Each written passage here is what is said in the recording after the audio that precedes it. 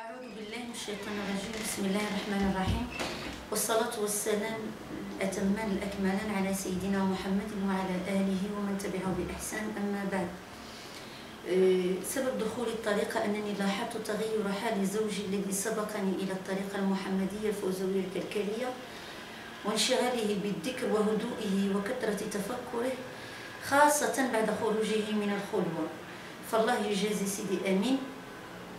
خير الجزاء الذي دعاني إلى الطريقة بحاله ولم يدعني بمقاله فهو لم يفرض علي البيعة فأخذت الورد على سيدي محمد فوزي الكركاري قدس الله سره آه، في أول الأمر ليتغير حالي كما تغير حال زوجي ولأواظب على الأوراد فقط.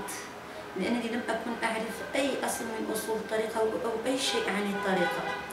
ففوجئت بمشاهدة النور المحمدي يقظة عيانا. فكانت المشاهدة ما شاء الله تربية روحية كاملة شاملة من جميع الجوانب. وكان سيد الشيخ يركز في طريقته يعني معنا على أربعة أشياء. أولها علمني الذكر علمني آدابه وعلمني تذوقه والحضور فيه. والمواظبة عليه علمني الاستئناس بالخالق والاستيحاش بالخلق. أمرني أن أواظب على يعني الأوراد القرآنية. وأذن لي بذكر الاسم الأعظم المفرد مطلقا يعني على الإطلاق. ثاني شيء أنه كان مدده نور مشاهدة النور المحمدي يقظة. وقد ناقش في قلب سيدي الشيخ تعظيم جميع التجليات على اختلافها جميعها جميعها.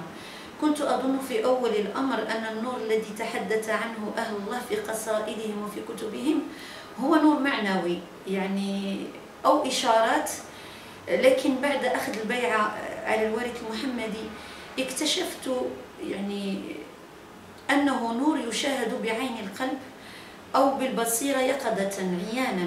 وأنه لا يقتصر فقط على السلف الصالح السابق بل هو نور يقذفه الله سبحانه وتعالى في قلب أي مريد صادق.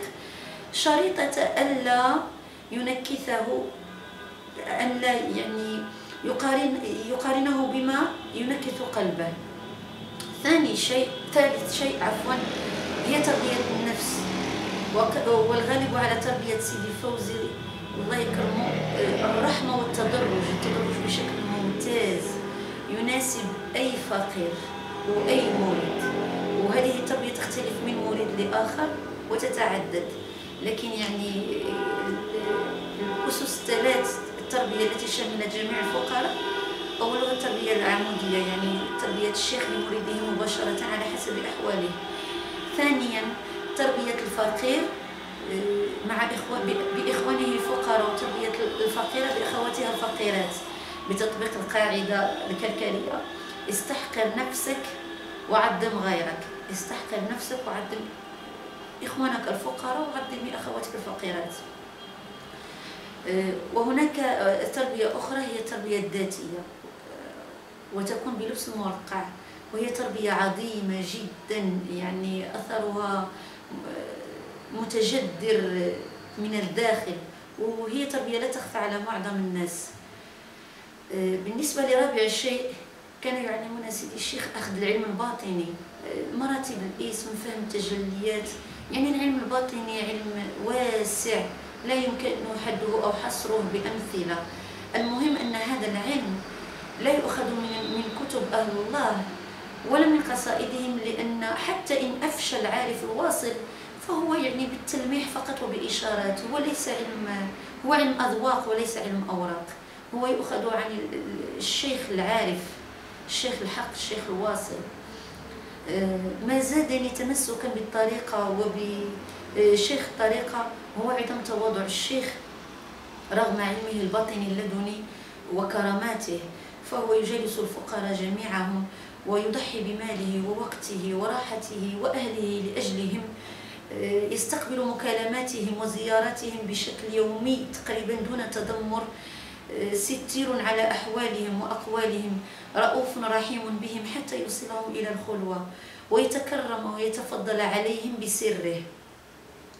السر الذي يعني فهمت به الكثير من الآيات والأحاديث التي كانت تشكل حاجزا بيني وبين الحق آه، بالإضافة إلى أن هذا السر ما شاء الله يعني له تأثير عجيب إذا ما تذوقه الفقير فهو يعني يجعل قلب الفقير أو الفقيرة خال من من بغض أو ضغينة لأي مخلوق لأي شيء.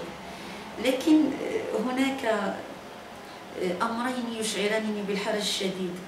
أولهما أننا كلنا نفاخر بشيخنا وفي شهادتنا وكتابتنا نفاخر بصحبة الختم بعلمه بخلقه. فهل فعلت أنا ما يجعل شيخي يفخر بي؟ ثاني شيء لقد أعطانا سيدي فوزي محمد فوزي الكركاري قدس الله سره مددا عظيما لا يقدر بمال. فماذا أعطيت أنا للطريقة؟ لهذا أسأل الله العلي الكريم أن أخدم الطريقة ولو بشيء يعني يسير وجدا بهذه الشهادة. وأسأل الله أن تنفذ كلماتي إلى قلب كل حواء سمعتها وتحرك فيها الشوق إلى تذوق الذكر بالاسم الأعظم المفرد ومشاهدة النور المحمدي ومعرفة الحق وأسرار أهل الله ومحبتهم وصحبتهم أشهد أن لا إله إلا الله وأشهد أن محمدا رسول الله. والسلام عليكم ورحمة الله تعالى وبركاته.